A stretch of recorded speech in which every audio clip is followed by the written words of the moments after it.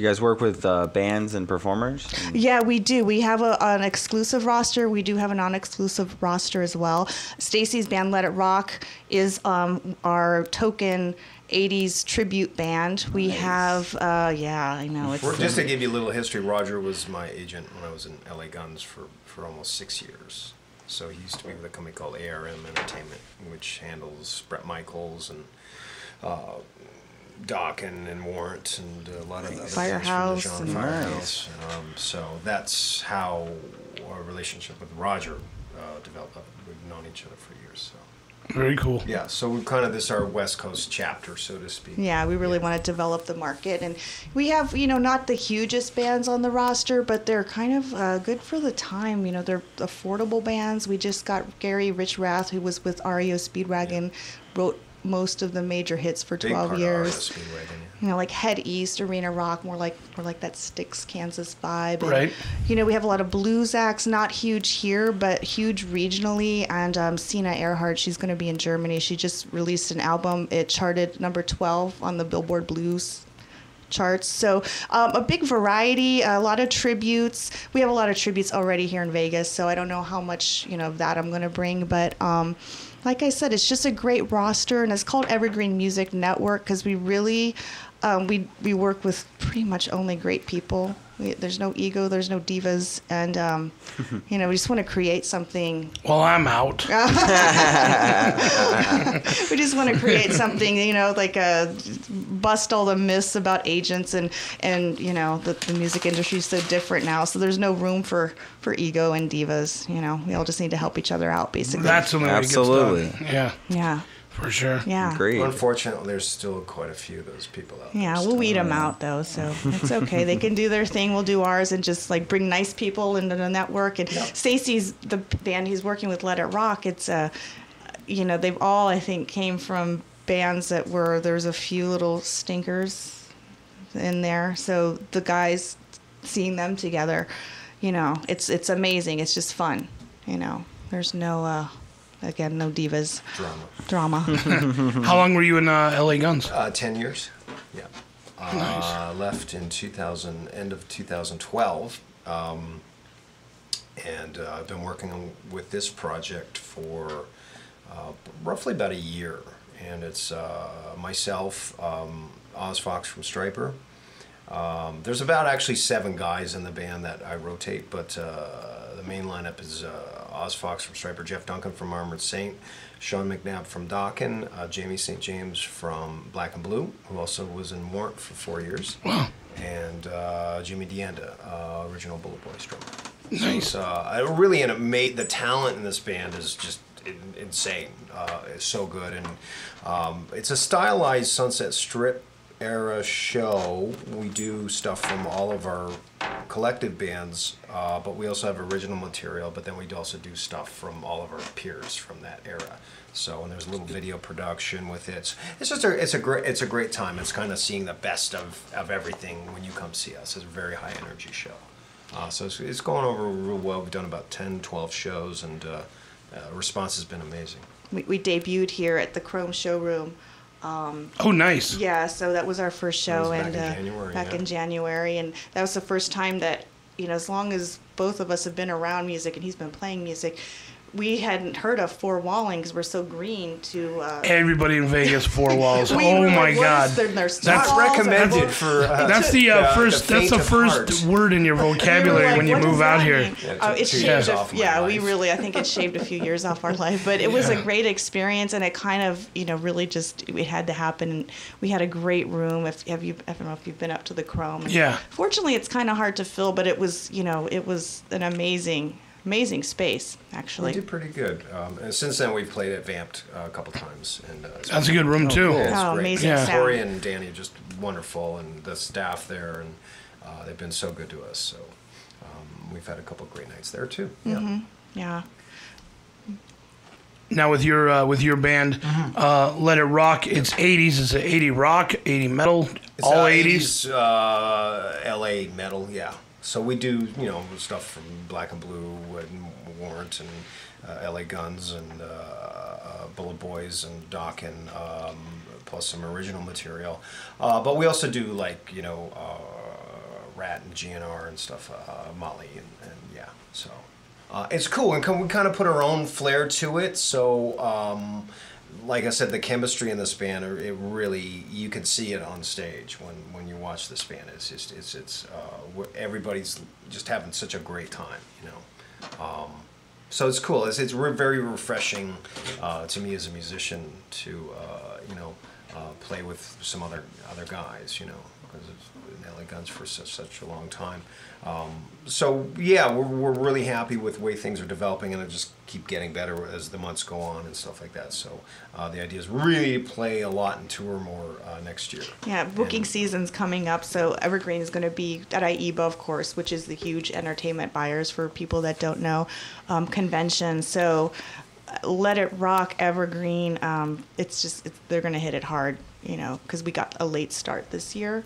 Because Evergreen is brand new; they just started in January, so um, yeah, we'll be seeing a lot more of our bands out there especially Let It Rock, because they are very high profile. It's like the logo is very. It's more than just a band. We're really trying to develop the brand of Let It Rock.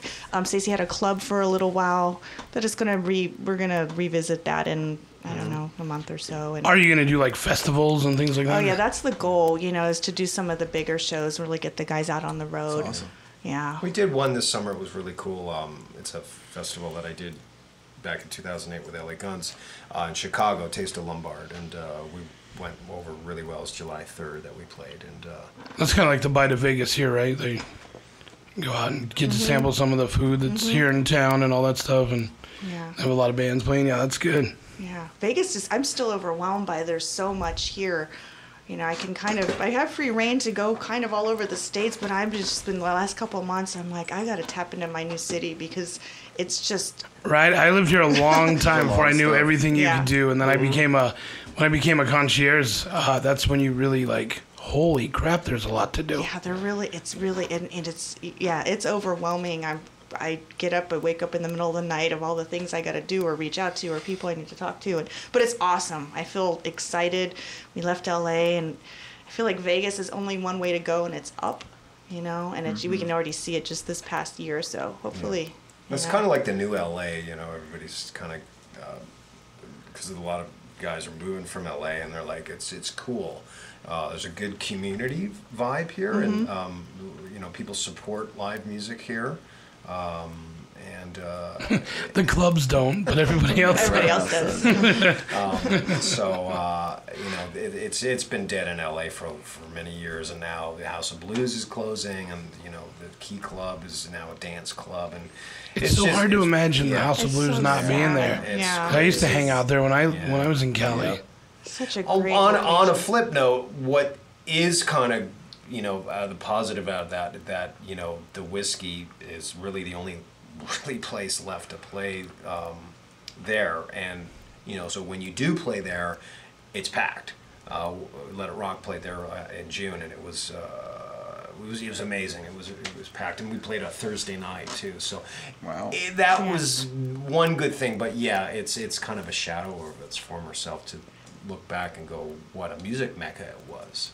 Um, so uh, that's what's cool about Vegas. that It's kind of really developing a really cool scene here. So Yeah. The- The rainbow Agreed. closes. That's it. Then we'll have to Right. go have a, a funeral. yeah, there'll be way more I know. people here. There was uh, there was a band uh, there was a bar in uh, L.A. that we used to do shows at all the time. The Coconut Teaser. I forget Oh what. yeah, And, uh, tacos on the back patio. yeah, it was- it was awesome. Yeah. Uh, and they were like, we tried to explain, like, we're gonna have comedians, we're gonna have bands, we're gonna, have Uh-huh, this, and they were like, we're not sure if that's gonna work, so we'll put you downstairs, right? And so There's a downstairs there. Yeah. Originally, yeah, that's what everybody's like. There's a downstairs, so we went there. We went there, and uh, we had this guy there. His name was uh, his name is Bill Arkin, and just the funniest guy. And there was a band that was playing upstairs at the time, and we had packed this little bar. I mean, people couldn't even move downstairs. And this guy, he starts. Uh, his whole bit was that he he writes. Uh, he writes music for the porn industry, and so he'll throw. So he'll be he'll just throw out the name of a he'll just make up a porn, and he'll be like, "You might have you might have heard this one in the movie called." Uh, uh, Assless master. or something like that. Or it'd be like, oh, honey, honey, I fucked a kid, or something like that. And it got and it got so like loud with laughter. Right. The band upstairs stopped Really? Wow. because they were like everybody that they were playing for was in was downstairs. Oh, And so uh, they the the guys from They the didn't like Coconut you. Teaser was like, or they did like. "We'd like you to come back next weekend, and we're gonna move you upstairs." Awesome. Great.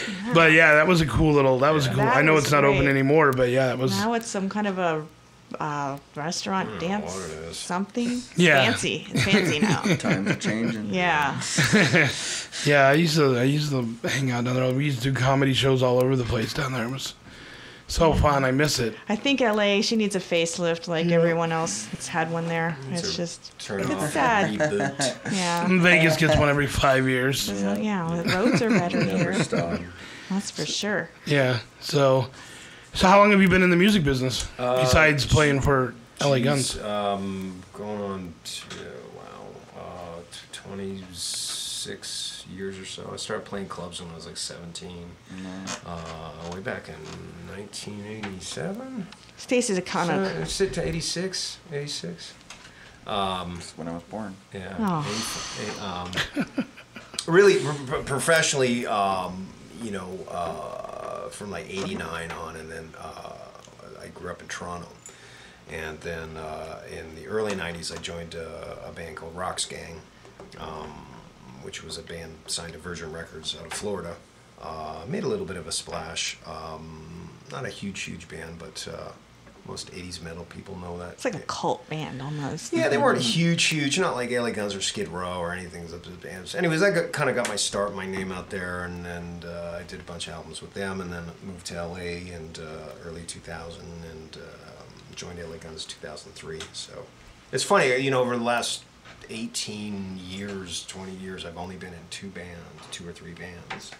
Um, that was together a long time. Know? pretty good. Uh, so, uh, yeah, I've had a good career, you know. Um, I've toured the world and been in every music magazine and videos and records. I was, I was blessed to have done three records with uh, the late great Andy Johns, uh, who was uh, produced records for 40 years. Uh, Zeppelin, Stones, Van Halen, Right. Cinderella Autograph, uh, Eddie Money, Rod Stewart, this goes on. Um, was very fortunate to get very close with him um, before his untimely death last year. Um, so yeah, I, I, I'm very, grateful for, for a great music career. So um, it's funny because you know it's like when you you know coming out of LA Guns after ten years and kind of you know had to restart my whole even though I very established. It's um it's a whole new beginning. It's it's it's Oh, kind yeah. of scary, you know. It's like you've got to start kind of from scratch. But Yep. so I've been very fortunate that in the quick amount of time, you know, a year doesn't sound quick, but uh, uh, that Oh, it's this- quick. yeah, It's it, quick. It does, especially the older you get. Uh, that the Let It Rock has developed so quickly and uh, garnered a good amount of fans and uh, you know great shows. I mean, we played Taste of Lombard. It was like four thousand people. I was like, we were That's headlining, awesome. and we played the brand new Hard Rock Casino um, in Sioux City, Iowa, uh, and packed it. And it was just like, wow, this is this is really good, and people are getting what we're doing. You know, they're they're really. It's getting, funny. It doesn't seem like there's much to get, and then they'll come and see, it and they'll go, "Oh, I get it." And we're like, "What? What's to understand?" You know? this would be a good idea. See? yeah. And You know? it's, we don't. We, you People there's told a, me, no, don't waste your time. I'm like, no, there's a lot no. of super groups Yeah. going on ar- around right now, and it's you know it's it's it's a natural progression. Of, you know, it's like I think the the hair metal thing. It you know it peaked. I I don't know the resurgence a couple years ago. I That's I guess. gonna Yeah. a couple You know? years ago. And It's now- a 20 year cycle because I remember like 2008, 2009, 2010. Those were really good years in the in, in the band in LA Guns. I was seeing this resurgence. Mm-hmm. And that's kind of tapered off a little bit. You'll think you'll come back in 2030. Yeah, Well, I don't how old everyone be by like that old black blues guy. But the people in the Midwest, they go off. They they are rabid it's for funny it to Yeah. how different the crowds are, and I'm not saying Vegas crowds are bad because they're always good. Um, nice th- throwing your voice very nicely there. Um, so um, uh, what was I saying? Um, it- it's diff- different, different how the crowds react. Usually, Midwest has always been such a stronghold for live music, you know. So Right. uh, it's always great to play there. There's a lot of great places though, but um, you know. Yeah, I, lo- I lo- we love when we see the like we were, we were at Sam Ash and we see the 13 year olds with their Guns N' Roses shirts and they're c- carrying their guitars and we're just like, yes, it's still 13-year-olds. alive, it's still alive. So now you you teach guitar or something over there, right? Some Uh, once in a while. just, um, I, I've taught for many, many years, and I'll take a break from it for five or six years if I'm touring a lot. Um, but uh, I now that I'm not touring as much, um, I yeah started teaching guitar actually over exclusively over at Sam Ash. So Yeah. anybody uh, wants to take lessons and learn a few things from my 30 plus years of playing. Um, He might know a few things. He knows a few It's awesome.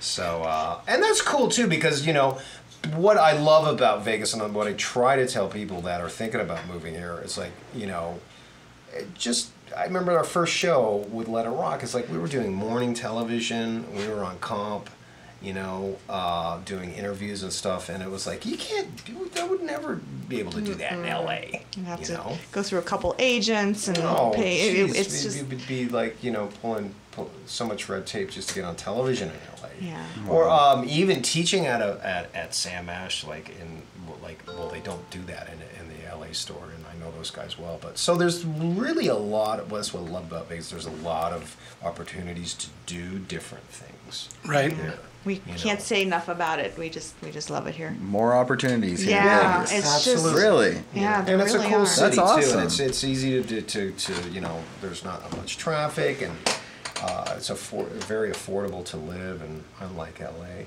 um, uh, traffic in LA is just uh, Now, how does it? I mean, how does it? Uh, it it's weird. Some bands, if you you change members, it's it's over. You know, like you you couldn't put in a new you couldn't put in four new people and say this is Led Zeppelin. Right, right. People aren't going to buy it. So how do you get away? You know, how does a band like let's say L.A. Guns, who's Yeah. changed Right. a couple of times since more than a few. You know. Tracy since Tracy Guns days.